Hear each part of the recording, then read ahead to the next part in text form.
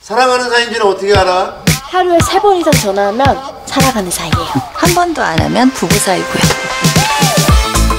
우리 게임 한 번 해볼까? 저녁 먹는 동안 오는 모든 걸 다 공유하는 거야. 전화, 문자, 카톡, 이메일 할 것 없이 싹.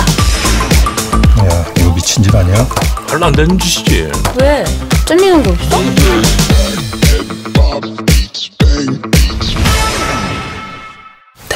여자를 알게 됐거든. 어?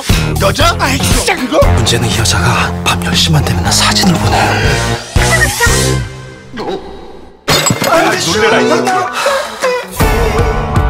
속초 경찰서 그 진영 수사 당신 뭐 숨기는 거 있어? 됐어. 난 자기만 볼 거야. 난 옛날 여자친구들하고 절대 통화 안 해. 자기 몸이 그리워? 아이고 그렇게 오래 안 됐어. 세상에는 완벽한 사람들이 없어요. 근데 이 핸드폰은 너무 많은 걸 가지고 있거든. 나 여기 친구네 집들이 와 있어. 집들이 너 맨날 재수 없다고 욕하더니 뭐 얻어먹고 있다고 거기가 있어.